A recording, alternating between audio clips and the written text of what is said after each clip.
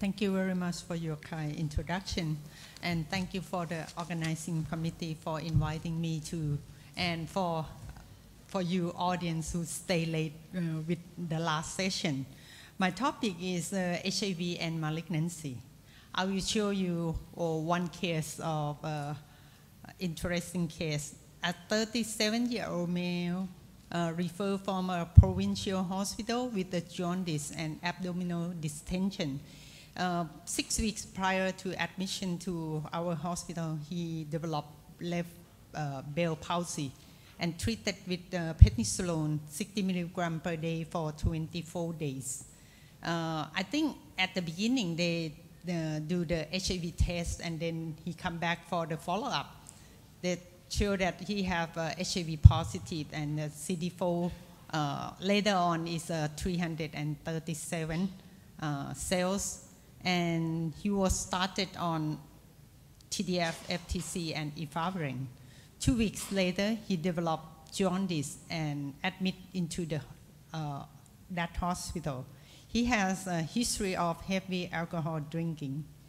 And this is the lab from the local hospital. Liver function test, total bilirubin up to 8, 18.2, and direct bilirubin is 16 ALT 139, AST 104, alkaline phosphatase 1492, creatinine rising from 1 to 6.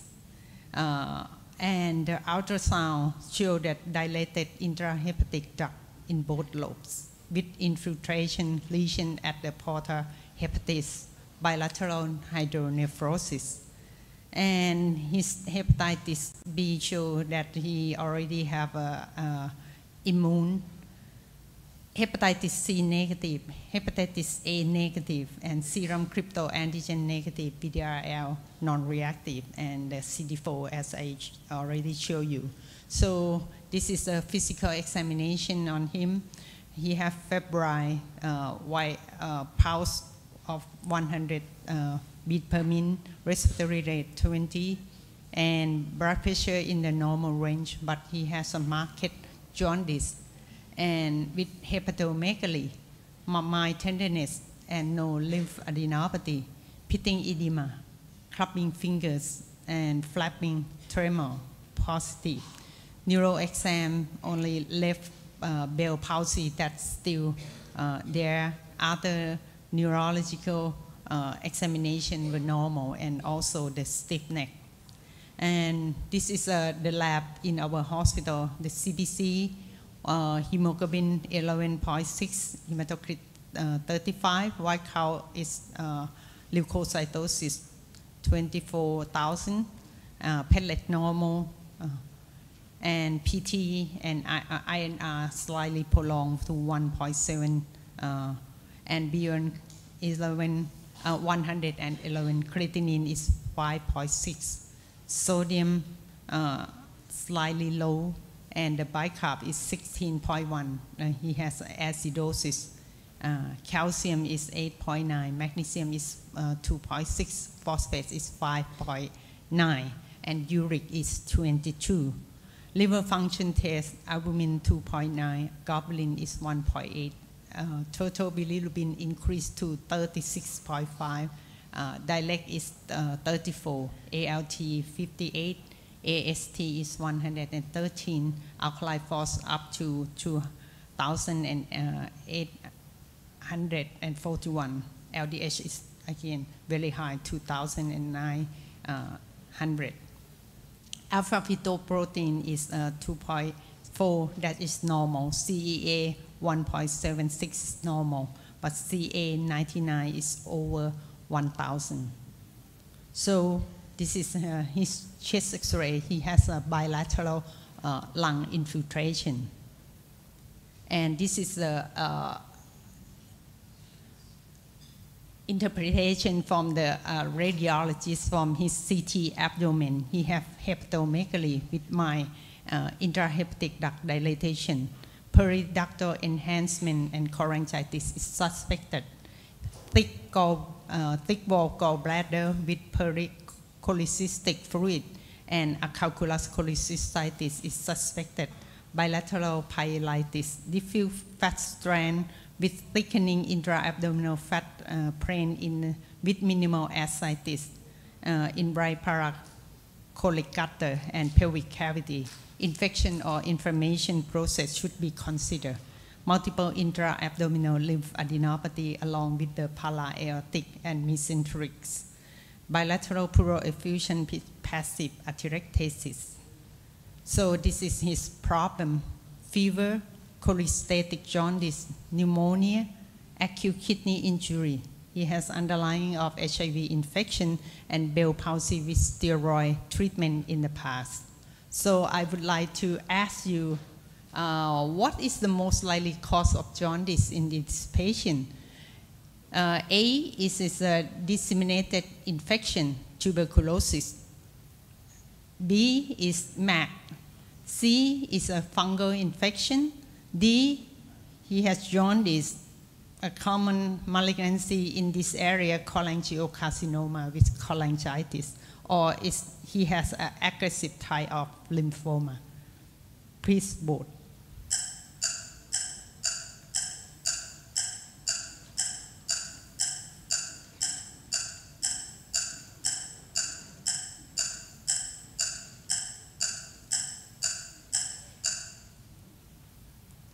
So, uh, since we are in the topic of HIV and malignancy, so you don't vote for uh, infection. So most of you select uh, malignancy. And because I'm, I'm, I'm persuaded that uh, we, we should consider cholangiocarcinoma, so you, the most common answer is uh, cholangiocarcinoma, and some of you vote for aggressive lymphoma. Okay, so what is the most, uh, oh, sorry, what is the most likely to give diagnostic, diagnosis uh, investigation in this patient? A, sputum for staining PCR and cultures, and blood culture for many cultures, uh, mycobacterial, uh, bacteria, and fungus, liver biopsy, MRCP, or bone marrow aspiration. Please vote.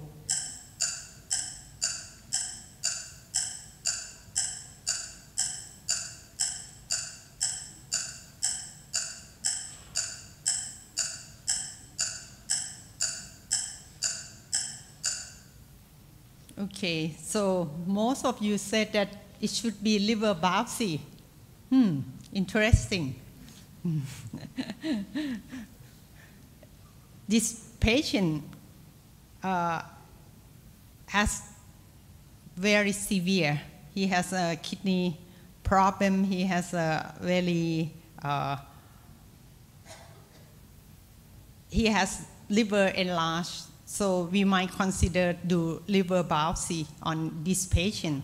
However, since uh, we know that this patient have a very high LDH in the serum, so and he developed the kidney uh, failure. It might be from uric acid from uh, lymph node that uh, cause obstruction or something like that. So in this patient, we consider that he might have some uh, malignancy. So this is an investigation on this patient. He has a pneumonia, so we also consider that he might have a co-infection with TB. So we do sputum uh, AFB for three days and PCR GeneXpert as Dr. Kampon suggestion it's all negative, but sputum PCR for uh, pneumocystis jirovecii is positive.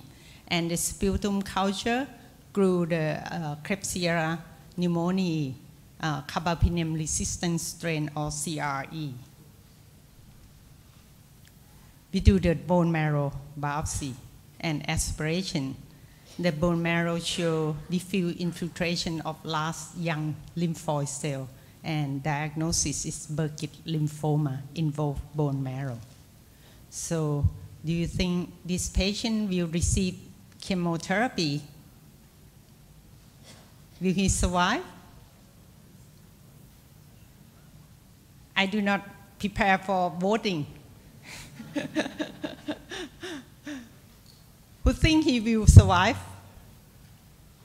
Some of you very optimistic. Okay, so we, this is the BUN creatinine along the course. This time, our nephrology do the hemodialysis on him. So you can see the BUN creatinine down for some time, but it's up again. So even we have a, a diagnosis, but hematologist is reluctant to give chemotherapy with the patient with liver failure and uh, kidney failure. So we just supported him, and this is uh, his chest X-ray is uh, has progression of infiltration, and the sputum gram stain show the yeast with budding and pseudomycelium. Sputum culture still grew uh, CRE, Klebsiella pneumoniae, and the urine culture, uh, Candida albicans. This is the cause of death in this patient. He has a blood culture grew Candida albicans, and he did not make it. So, so from this case, I look back uh, to our cases uh, with uh, HIV and lymphoma hospitalized in our hospital five-year uh, So we identify 28 cases. The median age is about 40 years old. Most of them are male, and the median CD4 count is 222. Half of them is ARV naive. So if you can imagine some of the patients already on treatment, but half of them are not on the treatment before. And the type of lymphoma most common is the diffuse large B cell lymphoma. And five cases is uh, primary CNS. And Burkitt lymphoma is uh, four cases, T cell four, and uh, plasmablastic in three cases. And the outcome, you can see that surviving in, in this patient is very low. It's uh, less than 20%. Most of them die uh, during hospital, and uh, some of them discharge home and do not come back for follow-up, or some of them refer out, so we don't know. But I want to uh, show that uh, lymphoma with the hospitalization in our hospital has a very high uh, mortality. This is a common AIDS-defining and non-AIDS-defining tumor that associate with oncogene. You can see that the KS, you know, is associated with the uh, herpes virus type 8 and primary CNS is associated with EBV and also some Burkitt uh, B cell, uh, diffuse large B cell and other plus uh, primary effusion of lymphoma. Cervical cancer is associated with uh, herpes, oh no, papilloma virus, and Hodgkin also associated with EBV. Anal cancer, uh, papilloma virus, and hepatocellular carcinoma is a uh, uh, hepatitis B and C. Head and neck is uh, papilloma virus and EBV. And this is the assessment of uh, malignancy in HIV patient in EuroSIDA. You can divide it into the infection-related malignancy that we already uh, talked to. And the risk factor is age and lower CD4 count, hepatitis B co-infection, detectable uh, viral load. So it means the patient not on treatment and the uh, prior AIDS-defining malignancy. For the infection unrelated malignancy, the common one is the cancer, uh, lung cancer, prostate, colorectal, and breast cancer. This is also associated with the age, uh, low CD4 count, uh, hepatitis co-infection, and current smoking. And you all know about the START study. Even the patient have high CD4 count over 500 uh, start antiretroviral treatment also reduce the malignancy, especially uh, Kaposi sarcoma and lymphoma. And this is the Thailand data that uh, uh, the CD4 range uh, in the patient who start antiretroviral treatment. You can see that uh, in the earlier uh, year, the red and the pink one is the CD4 less than 100 or less than 200. 60% of them uh, start anti antiretroviral at a very low CD4 count, and we are improving recently. And this is the median uh, CD4 count uh, in Thai patient who start antiretroviral treatment. Right now, we go up to about 194 cells. And this is the uh, incident, the standard incident ratio for uh, AIDS-defining cancer uh, before pre-HAART era and early heart era. You can see that Kaposi sarcoma and uh, primary CNS lymphoma markedly reduced, but for other uh, malignancy like uh, Burkitt or diffuse large B cell or other non-Hodgkin lymphoma, is, uh, the effect is not uh, very clear. And this is for uh, non-AIDS defining cancer. You can see some of the uh, cancer increasing after uh, HAART use. Okay? And if you compare HIV infection to non-HIV infection, you can see that uh, the anal cancer is much higher in HIV uh, infected patient and Hodgkin lymphoma and also oral and pharyngeal uh, carcinoma is higher in non-HIV infection. And a lot of uh, malignancy, anal, Hodgkin lymphoma, and oral uh, pharyngeal lymphoma is related to the level of the CD4. You can see that if the CD4 is less than 200, the incidence is very high as compared to 500 uh, cells. So this is a P significant.